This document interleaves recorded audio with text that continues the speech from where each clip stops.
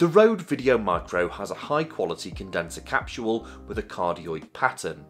This means that it's designed to focus on capturing the sound that it's pointing at, which makes it ideal for vlogging and run and gun filmmaking.